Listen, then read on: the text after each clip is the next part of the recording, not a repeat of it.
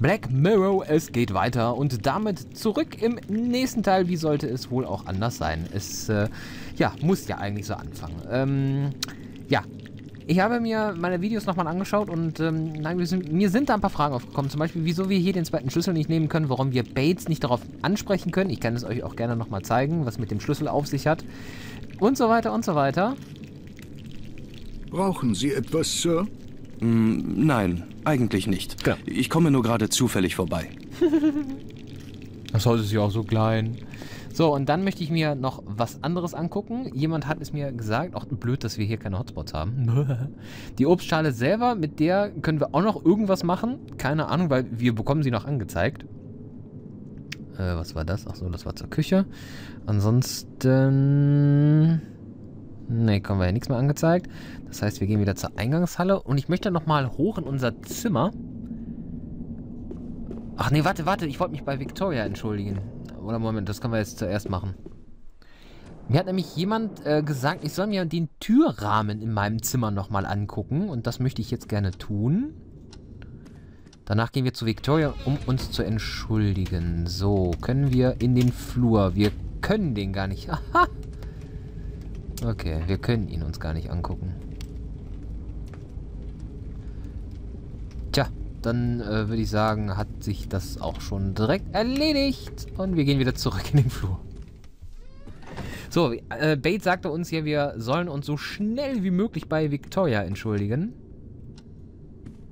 Und das werden wir jetzt auch tun, wenn ich hier irgendwann endlich mal ankomme. Boah.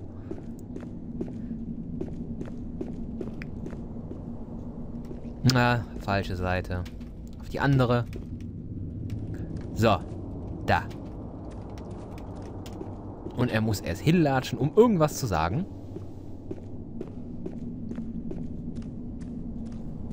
Ich sollte mich entschuldigen. Ja. Mach das. Genau. Äh, Und wir stehen einfach hier und sie sagt nichts. So, wir stehen hier einfach blöd in der Gegend rum.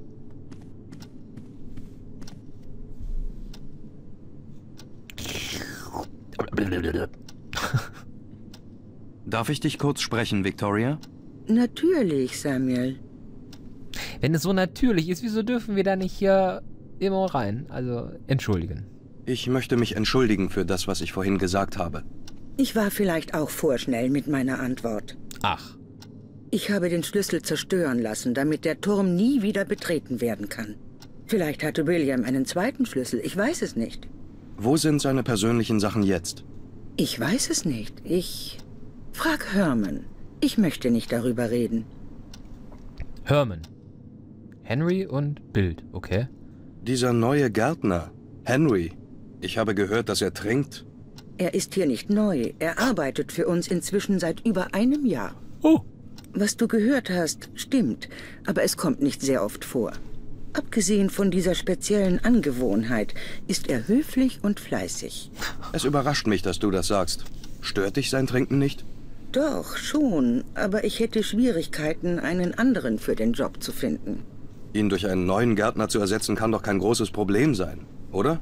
Vielleicht nicht vor ein paar Jahren, aber jetzt? Du warst lange nicht mehr hier. Es hat sich viel verändert, Samuel. Niemand will für uns arbeiten, nicht nach dem, was hier passiert ist. Die Leute sind abergläubisch. Sie sehen in allem dunkle Kräfte. Ich bin froh, dass er geblieben ist, auch wenn mein Garten jämmerlich aussieht. Aber warum fragst du nach Henry? Weißt du etwas über ihn, was ich auch wissen sollte? Ja? Nein, Äh? eigentlich nicht. Morris sagte, dass Henry sich gelegentlich seltsam benimmt. Morris? Das überrascht mich kaum. Er ist selbst so merkwürdig. Wenn ich jemanden hätte, der seinen Job übernehmen könnte, wäre er jetzt nicht mehr hier. Da fällt mir ein, ich habe ihm die Anweisung gegeben, den alten Brunnen mit Brettern zu vernageln, damit dort kein Unfall passieren kann. Würdest du dafür sorgen, dass er das heute noch macht? Natürlich. Och, herrje. Kannst du dir dieses Foto ansehen? Ach, jetzt holt das raus. Weißt du, wer dieser Mann ist? Hm, das Gesicht kenne ich irgendwoher. Ach. Ja, aber nicht genau dieses. Was meinst du damit? Er war damals viel jünger als auf diesem Foto, aber es ist die gleiche Person. Wer ist es denn? William hat einmal ein Waisenkind hierher gebracht und vorübergehend bei uns aufgenommen. Er hat eine Zeit lang neben dem Stall gewohnt. Ein einfacher, ruhiger Junge. Weißt du, wie er hieß? Das ist schon sehr lange her. Ich erinnere mich nicht mehr. Er blieb einige Zeit bei uns, aber dann veränderte er sich auf einmal komplett. Es war, als wäre er wahnsinnig geworden. Danach konnten wir ihn nicht länger hier wohnen lassen. Man brachte ihn nach Ashbury. Was passierte dann mit ihm? Ich weiß es wirklich nicht. Wie gesagt, das ist alles schon sehr lange her. Robert erinnert sich vielleicht. Er hat diesen Jungen damals als Patienten aufgenommen. Aha. Hochinteressant. Okay, ich kann jetzt mich wieder bewegen. Okay.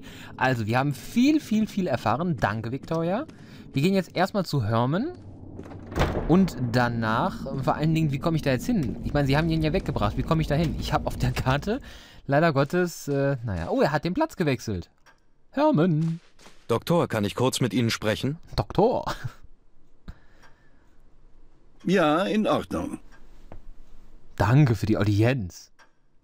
Dr. Herman, Victoria hat mir gesagt, dass Sie Williams persönliche Sachen haben. Ja, das stimmt. Ich würde sie gerne sehen. Aber sicher. Ich kann sie Ihnen zeigen, wenn Sie morgen zur Leichenhalle kommen. Ich weiß nur nicht, was Sie sich davon versprechen. Ich muss sie aber heute sehen. Können Sie mir helfen? Heute? Ja. Na schön.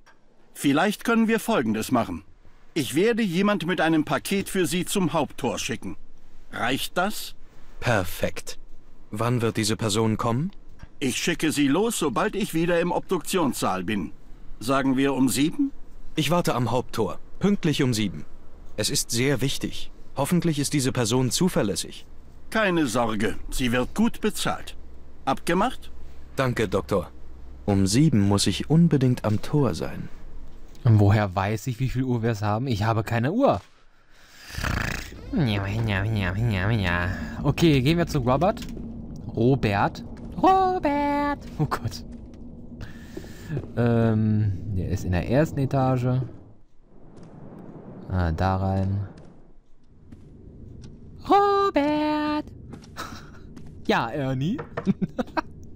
Äh, das gehört hier nicht hin.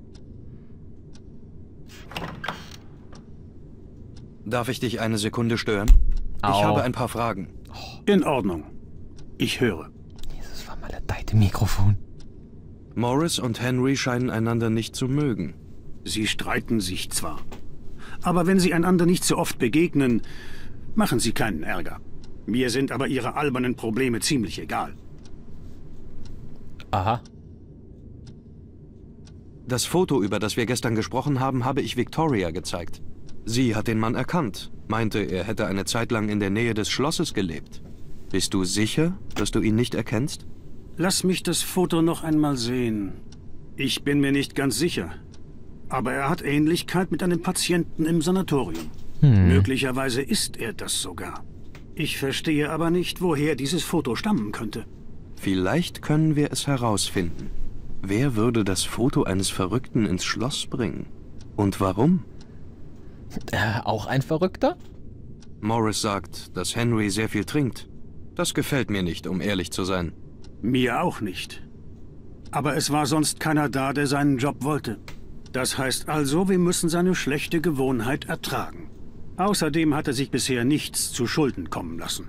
Bisher nicht. Richtig. Ich werde jetzt gehen. In Ordnung, Samuel. Du kannst ruhig wiederkommen, wenn du etwas brauchst. Mache ich. So, jetzt möchte ich nochmal zum Stall. Denn Victoria hat ja gesagt, er hat da in der Nähe ja, gewohnt, mehr oder weniger. Das heißt, wir gehen jetzt nochmal zu Morris. Maurice. Moritz. Der Holzhacker. Der Holzfällerbuben. Der Holzmichel. Morris, ich möchte kurz mit Ihnen sprechen. Genau, aber hack ruhig erst zu Ende. Was möchten Sie, Sir? Ach ja, den Job. Der, der ist doch schon zugenagelt. Morris, was machen Sie, wenn Sie mit dem Holz fertig sind? Ich weiß es noch nicht. Aber hier gibt es immer genug zu tun. Haben Sie eine besondere Aufgabe für mich? Victoria möchte, dass der alte Brunnen mit Brettern vernagelt wird. Das weiß ich, Sir. Ich mache das bald. Ich gehe dann jetzt. In Ordnung, Sir. Hm, okay.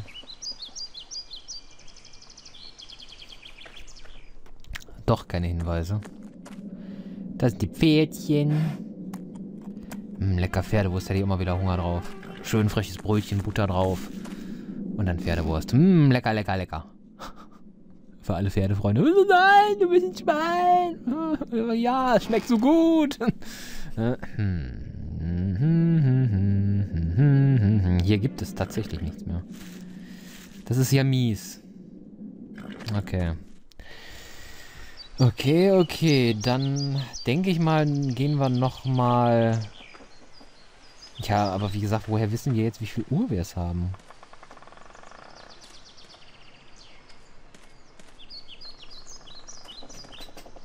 Oder ist es einfach so ein Spiel, wo wir einfach mal zum Haupttor gehen können? Nein. Briefkasten. Ist da was drin? Er ist leer. Ja, dachte ich mir doch schon. Tja, und ansonsten zum Umland von Black Mirror. Wir haben zwar jetzt eine Karte, aber der weigert sich ja jetzt. Ich will jetzt nicht gehen. Ja. Ich muss mehr herausbekommen. Ich will jetzt nicht gehen. Ah, also wieder hier hin, dann da hinten hin. So, ins Gewächshaus. Guten Tag, Henry Jones Jr. Ich weiß nicht, worüber wir reden sollten. Gut, also muss es irgendwo im Schloss weitergehen. Bates, lohnt es sich nochmal dahin zu gehen? Dann nach hier zum rechten Flügel. Hier gibt es nichts. Ja, dann gehen wir nochmal zu Bates. Servus.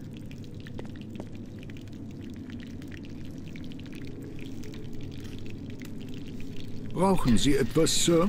Nein, eigentlich nicht. Ich komme nur gerade zufällig vorbei. Bla bla bla bla bla bla. Wir nehmen uns den Schlüssel. Das ist der Schlüssel vom Dachboden. Mhm. Ich stecke ihn ein. Wo ist der Schlüssel für den Keller?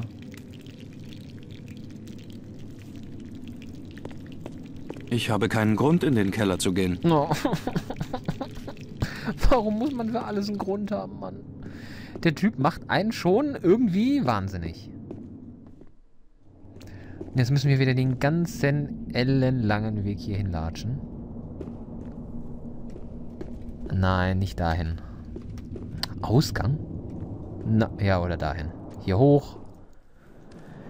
Hier rüber. Dann hier hinten hin.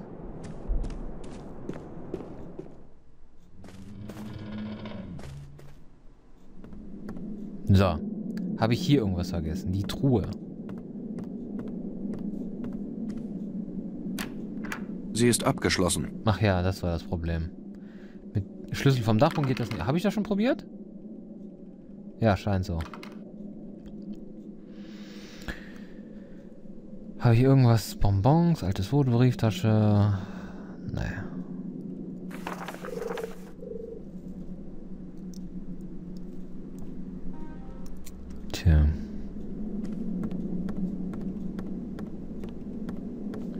Niemand, der mir helfen kann. Das ist doch zum Mäusemelken. Und das ist Es ist abgeschlossen.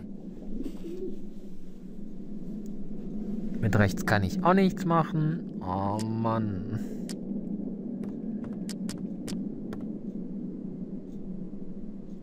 Das Seil können wir auch nicht nehmen.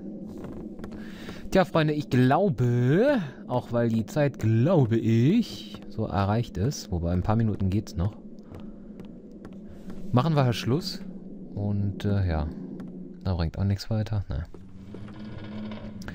Hier können wir auch nichts mehr machen. Da nicht, hier nicht. Im Kamin gibt's nichts. Ja, hier geht's nur wieder da lang. Tippdidu, schubedidu, ruppdiku, wuppdiku, Pudding im Schuh. Hier auf dem Balkon gibt's auch nichts. Da sind wir hier oben. Hineingehen. Gehe zu, hineingehen.